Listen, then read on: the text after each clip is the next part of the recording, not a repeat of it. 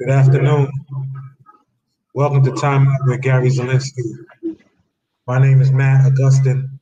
I'll be the moderator for today's session. At this time, I would like to introduce our panelists, starting with former NBA referee Gary Zielinski. Gary, how are you doing? Can you please introduce yourself to us? Uh, thanks, Matt. Hello, everyone. Uh, my name is Gary Zielinski. I refereed in the WNBA for four years, in the NBA for 18 years, and since I came off the court, I'm now the director of youth and amateur officiating development for the NBA. Thank you, Gary. And current WNBA referee Tiffany Bird. Can you please introduce yourself to us? Hey, everybody. Thank you for having me. Happy to be here. Um, it's my eighth year in the WNBA. I've been doing women's college basketball for about 15 years. And um, yeah, thanks for having me. Thank you. And last but not least, current NBA referee, Tony Brown. Tony, can you tell us about yourself? Hello, everyone. Uh, thanks for having me and uh, allowing me to be a part of this. Uh, this is my 19th year as an NBA referee. I worked uh, three years prior to that in the WNBA, and uh, happy to be here with you. Thank you, Tony. And for everyone in attendance, can you please submit any questions that you may have to the panelists via the chat, and I will make sure I forward it to the panelists. Now we have some pre-submitted questions that I would like to start with. This one is for everyone. But Tiffany, we will start with you. How did you get into officiating? And once you got into officiating, what made you continue officiating? Um, so I mean, I, I started with I, I, played volleyball in college, so I wasn't a college basketball player. Um, but you know, some family members officiated small college and high school, and so when I finished and graduated college, pushed me into uh, refereeing just as a way to stay involved in the game, a way to stay involved in athletics. And you know, I think that as a lot, as many of you, if you're referees, you can kind of get bit by the referee bug. And I, you know, I enjoyed the challenge. Um, it's definitely difficult, and so I kind of leaned into that, and that love for the game and the challenge is what's continued to keep me involved. Thank you. And the same question for you, Tony. How did you begin officiating? And once you um, started, what made you continue? I uh, I actually, you know, I grew up playing basketball. Uh, went to got a college basketball scholarship, and just you know, once my playing day was, was over, I was looking a way to stay connected with the game, and I just had some friends that were refereeing uh, some some little league ball and asked me to come out a couple of times and you know, after listening to some of the parents, I said I couldn't do it. But uh, you know, they persuaded me that it gets better after you get better. So after I got better, I learned to enjoy the game a little bit more, and uh, it was the best decision I made in life so far, outside of my family. and last, coming to you, Gary, how did you begin officiating? And once you started, what made you continue? Uh, when I started officiating, I was 11 years old at a recreation center. The supervisor came up and threw me a whistle and says, "Come with me down to the gym." So we went down to the gym, and I go, "What are we going to do?" He goes, uh, "You're going to officiate this game with me." I said, "Okay." So we officiated the game. After we're after we're done, he goes, "Did you enjoy it?" And I said, "I, I enjoyed it." He goes, "Okay, I'm going to give you to Brad." Brad was a high school referee, and for the next three games that night, Brad taught me how to really referee where to stand, positioning, what kind of calls, and so forth. So he taught me how to referee uh, as 11 years old. And I learned from then that the main part about refereeing to make you love the, the occupation is getting training, having training. I was lucky when I was 11 years old, I was being trained how to be a referee. Then what made me continue on was the supervisor that got me into refereeing. He gave us all the support. He made sure the, the, the parents and fans didn't yell at the referees, the coaches didn't yell at the referees. He gave us support. So that made me continue on. I was a baseball player growing up, went to college for baseball and all that. And, and I refereed for him through the whole entire time because the support, I just enjoyed it so much. And when I was done with my baseball career, I went to a camp. Um, they liked the way I officiated, put me in the minor leagues, and I made it to the WNBA and then the NBA. Thank you, Gary. And once again, everyone in attendance, if you could please submit any questions that you have, and I will forward it over to the panelists. Tiffany, this question is for you. You officiate in the WNBA as well as college basketball. How are you able to study both rules and understand it without messing up when officiating in the W or in college?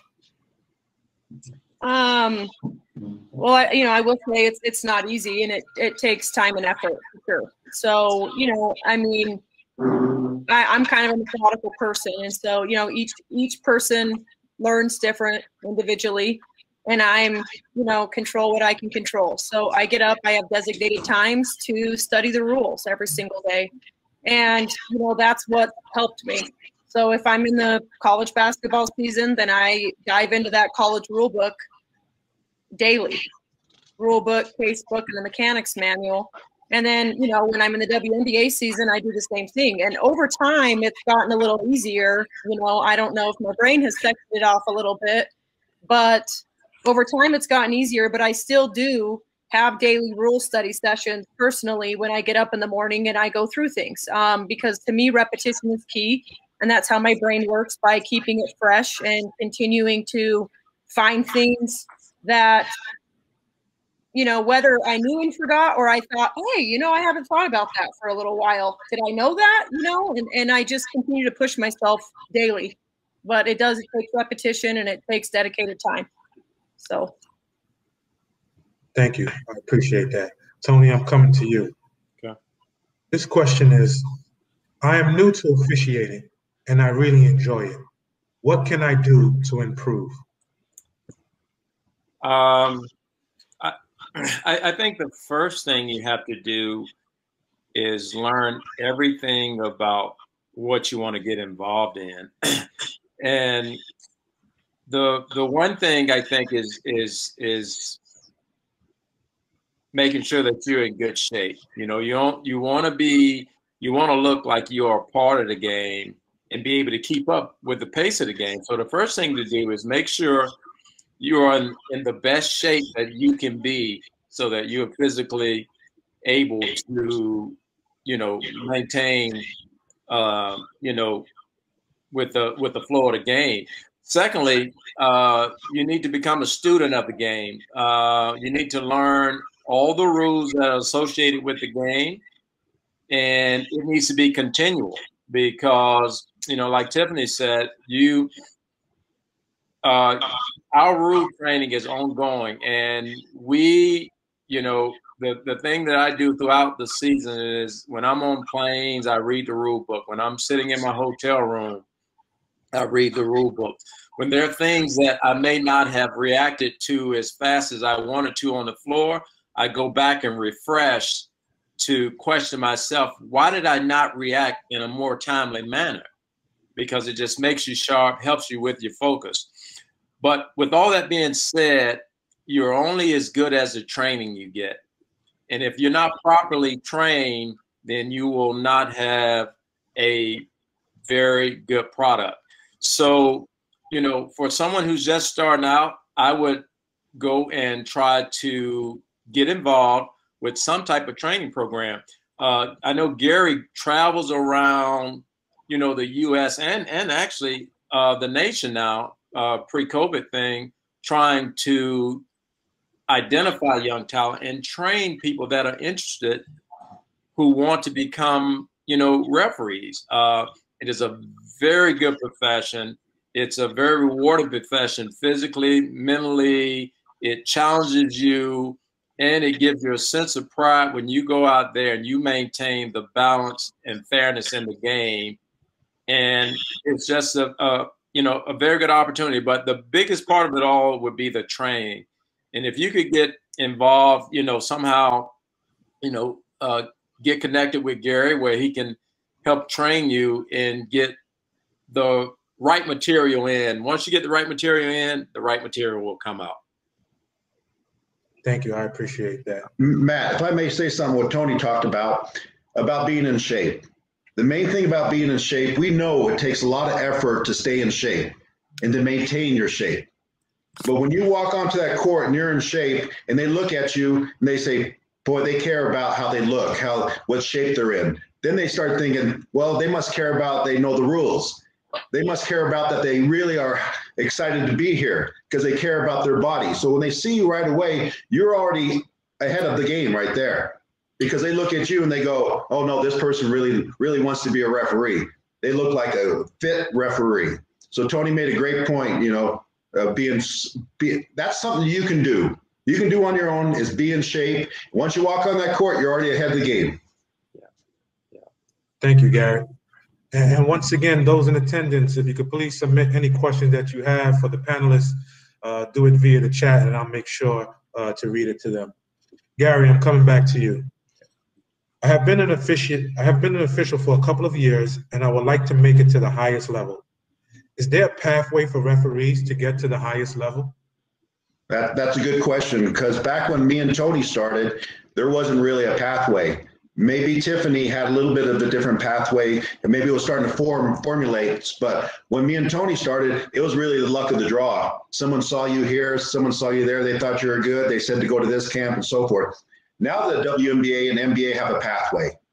So let's take the officials on this call right now. You've been refereeing for a couple years. You want to be seen now. You, you, you think you have talent. You want to move on. You go to NBAofficials.com. On that website, you make a profile. And in your profile, you put down your schedule, what you're doing. Doesn't matter what you're doing. YMCA, youth basketball, doesn't matter. You put down your schedule. It goes to our scouting group. Our scouting group then works with with the officials and so forth and the organizations to go see these referees that have made a profile.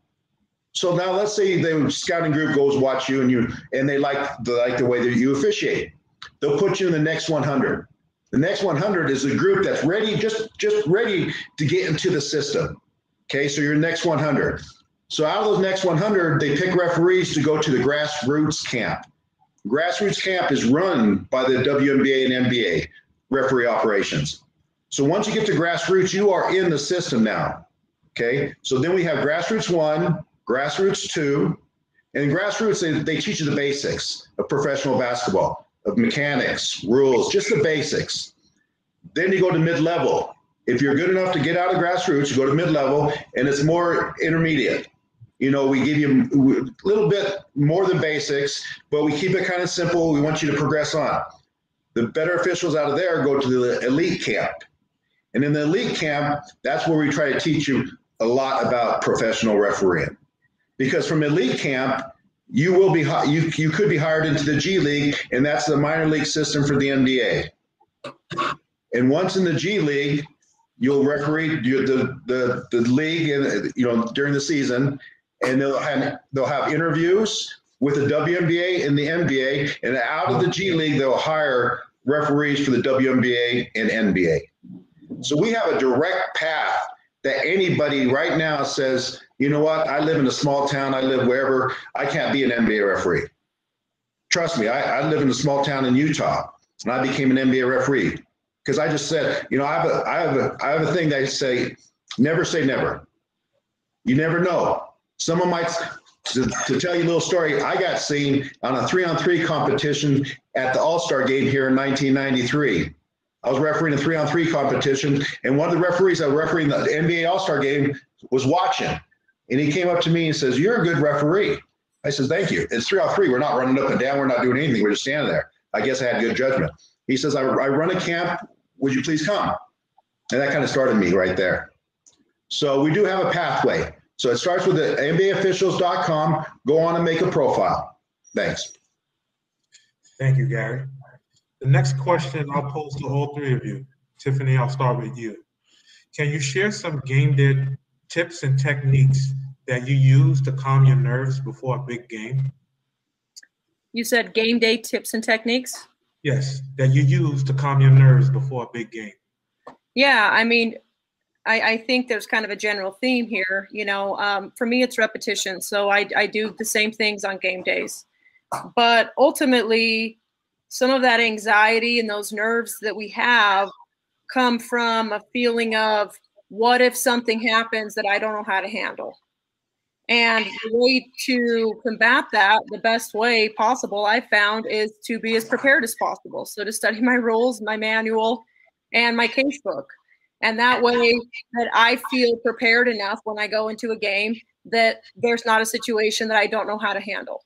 Now, so game day stuff, I I like to take care of my body, so I work out every single day whether I'm on the road or not. That helps me get rid of some of that nervous energy. Um, and then I go back to study. I watch I you know, I watch games from previous days. I study the previous matchups. Back to the rules, the manual and the case book. And that way I'm doing as much as I possibly can prior to stepping on the floor to prepare myself for that day. That's what helps me. Thank you. Tony, are there any tips and techniques that you could share that you use to calm your nerves before a big game? Yeah, for me, it is just, uh, it's all, always mind over matter.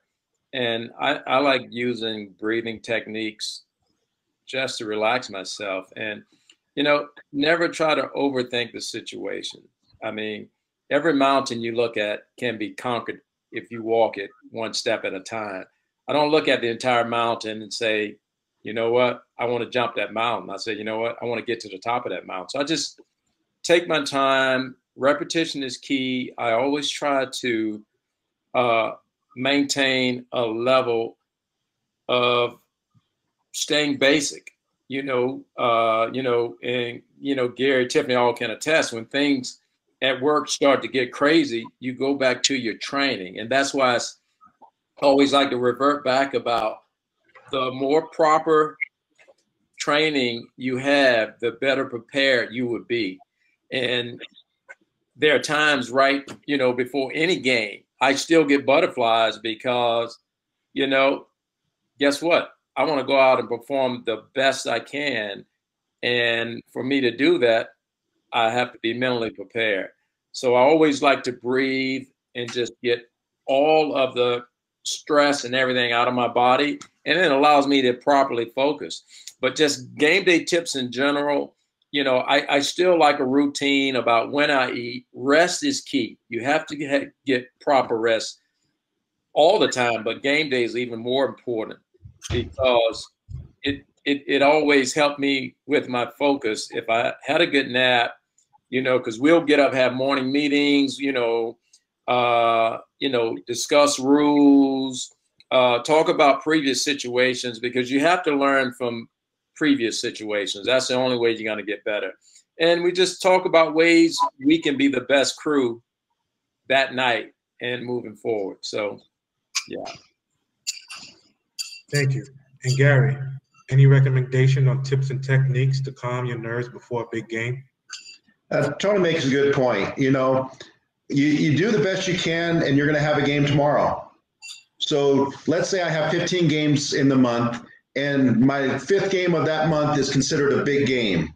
Okay. I know I'm going to go out there and try my hardest and do and hopefully do my best, and I'll have a game the next day. Then I'll have a game two days from there. So I look at it that way: is go out there, do the best you can. They, they could never look at you and say you never tried. No, if you go out there and you tried, you do the best you can. If you do make mistakes, that's the business. But they can never say you didn't try hard enough. So go out there, do the best you can. Like Tony said, like Tiffany said, we train, we, we read the rule books, we read the case books, we, we try to watch video, we do all this stuff, we train, train, train, and then you go out there and try to perform and you just do the best you can. Tony talks about butterflies. I think with referees, we don't really get butterflies, we get giddy. We get excited to get out there to referee a game. We, we, we think a lot of people think a big big game. We look at it and go, oh, yeah, it's a good game. It's, it should be a good game, and we're excited to go out there and referee the good games. So you get giddy.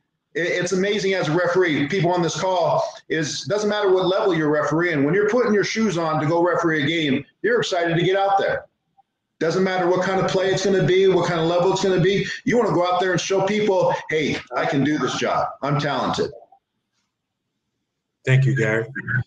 Tiffany, this question is for you. What are some fitness and conditioning drills, routines that you do to stay in shape?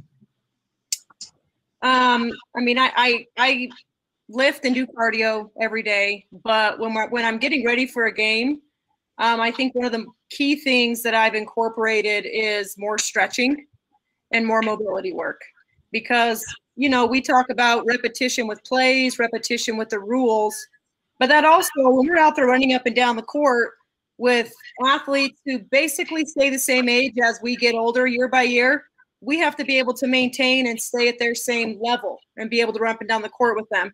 So for me, I've really kind of incorporated a lot more stretching, a lot more mobility work in order for me to be able to feel like I'm not going to possibly get injured. And also, you know, maintaining your weight, you know, controlling what you can put in, what you put into your body to fuel your body is also key. You know, limiting some of that inflammation, etc. So I know I know a lot of people work with trainers in different areas. So yeah, I mean, it, it kind of is a more of a personal choice and figuring out what works best for you. And it's just trial and error. You have to keep trying what you feel like works best for you. Thank you. And for those in attendance, Tiffany does have to leave early due to a schedule conflict. So if she does drop, uh, that is the reason why. But Tiffany, we do want to thank you for your time and we do appreciate it. Thank you. Tony, now the question goes to you. Are there are there some fitness and conditioning drills that you could share that helps you stay in shape? Yeah, I, I, I think uh, during the season, I for me, and this is just speaking uh, personally speaking for me, I try not to work out as hard as I do on the off season because the it's like being in the lab. The preparation has to be done prior to the season. So I would work extremely hard during the off season season to strengthen my body because during the season there's so much of a grind and the wear and tear just wears you down. So that is where the stretching comes into play and allows you to hopefully uh, avoid injury. but the biggest thing is very low impact stuff on game days. Uh, proper tennis shoes is the key. I wish I'd known to have better shoes for my body opposed to the way they look when I was younger, opposed to as I got older. And now I'm more into how the shoes benefit my body to help me uh, maintain. So, you know, it, it, it, it's all a transition. You start out early, trying to strengthen your body as much as you can. And as you grow and the more games you work, because in order for us to get better, we have to work as many games as we can. We have to watch as many games as we can uh, to help bridge the gap, to help us get better. But the biggest key is just not to break your body down every single day because then you become injury prone and it's hard to recover. Thank you. Gary, I have a question for you submitted from the chat. How do you deal with referee harassment and extreme bullying, especially at the youth and high school levels? The one thing I say, it to me, I start with the rule book. If you know all the rules of basketball, it tells you how you deal with everybody, how you deal with the coaches, how you deal with the fans, how you deal with administration. So if you know your rules and you and you do that when something comes up. For instance, if if I'm doing a youth basketball game, I get to know who my supervisor is right now. Who's my court monitor? Who's my supervisor? Who's in charge if I have a problem? Who do I go to? Then if I do have a problem with someone, I always say try to be as nice as you can just say, you know, if they're yelling and screaming at you, say, well, I'm going to stop this game. I'm going to go get the supervisor or court monitor and tell them about the problem. And I, the reason I tell referees always be as nice as you can is because when they come back to you and said, did you say anything to them? No, I was polite. I didn't actually say a word to them. I was polite. I just walked away. I did this and that. So first find out who's in charge, be as polite as you can, and, and go through the right channels so they can't come back and say, hey, you did this. It was your fault. You know, because a lot of times they look at the referee because they always look at the referee for everything. Tony knows this. They look at the referee for everything safety for the players, behavior of the fans, behavior of the coaches. They always look at the referees that you're in charge of all that. And truthfully, you are. You really are. If you don't, if you don't feel right, still officiating the game with getting fan harassment, stop the game and get the supervisor. But that's why you know the supervisor prior to this, so you can say, look, at if we do have a problem in any of these courts, us as referees, we're going to stop it and come get you. So always look at look out for yourself first, no doubt. Thank you. Tony, this one is for you. Okay. After having a bad game officiating, what is your approach? Uh, my approach is to never have that feeling that I had after that bad game. So, in order for me to do that, is to go and analyze the the mistake. Uh, but every mistake is just an opportunity for for training and to get better. So, you know, the the I think no one feel worse than making mistakes on on their entire court is is the other than the referee. You know, no one complains as much when players miss shots as they do if we make a wrong decision. So for us, no one is more critical on ourselves than we are. You know, and it's it's the, the thing that helps the most getting beyond a mistake is identifying the mistake and seeking help if you don't know how to improve it. You know, and never allow and try not to allow it to happen again. Thank you. And I'll come right back to you, Tony, with another question. Players seem to talk a lot of trash to the referees. How do you maintain your cool? Well, that's a work in training still to this day. So, you know, it's it's the internal dialogue that you have with yourself. And it's a level of confidence that you build up in your work. And you know what? Some some emotional responses happen. And I, I think it's a, it's about first of all identifying what the issue is. And the, the thing that's helped me beyond my early career battles is listening first so I can make sure that I understand what I'm responding to. And then there may be a need for me to to have a favorable response, or it may not be as favorable as the person posing the question would like for it to be. Thank Matt, you. if I might, jump, Matt, if I can jump in on that, like Tony would know, the funnest part about being a referee is dealing with 10 different personalities. 10 different personalities in a competitive environment. With two coaches, we have two different personalities. But that's the fun of the job. You could have a, a, a, one team, one teammate is real calm and cool, and the other teammate is a screamer and just yells about everything. And you got to deal with them separately.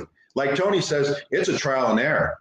Because again, you can say something to this player or coach that won't work for this player or that coach. So you're, con- you're continually learning on what to say to the participants. Thank you. And Gary, this question is for you. When watching film, what do you look for to identify and improve your mistakes? Positioning, first of all. That's the number one. Am I in a, and I'm in a good enough position to see the play, to have an angle on the play. You, we all know in officiating that they can only put us in areas that we won't be involved in the play. So they put us out of bounds in the lead, closer to out of bounds in the slot or C. In the trail, try to stay off the court, away from the play. So we're we're kind of bound by by those angles and so forth. So usually when we do have a play that we miss, we first look at our positioning. And then second, if we have an open look, open look and closed look, meaning, meaning this, you know, you, you can see this hand right here. You can see this finger right here and you got an open look. But now someone gets in front of you and you say, oh, it's still, it's still one, it's still one. And they moves and no, it's two. That's a, so you have a closed look there and you're guessing if you think it's two and they move and it's one. So that's an open and closed look. You, I, we always say, if you have a closed look, someone else should have an open look. Thank you. And how about yourself, Tony? When watching film, what do you look for to identify and improve your mistakes? Um, you know, I I do a number of things. I immediately go to my positioning, as Gary said. Uh, I also take snapshots of what you know what exactly the mistake is and you know i i always try to think what was i thinking at the time during that game was i distracted from maybe having conversation you know with someone about something else and i did not go through my being i did not stay fundamental with going what I do to be mechanically sound to see the play, or work for an angle to make it a, a position adjustment to see the play. So, but when I watch it, it always goes back to positioning and take snapshots to, at that time to see, you know, sometimes some plays will just be missed, you know, but we try to minimize that by watching video and learning, and hopefully that reduces our errors. Well, thank you. I appreciate it. Thank you, everyone, for your time. Our session has come to an end. Tony, we wish you all the best this upcoming season, as well as you, Gary. Thank you, Thank everyone. you. Oh, Thank thank you. you for having us, everyone. Best of luck to everyone.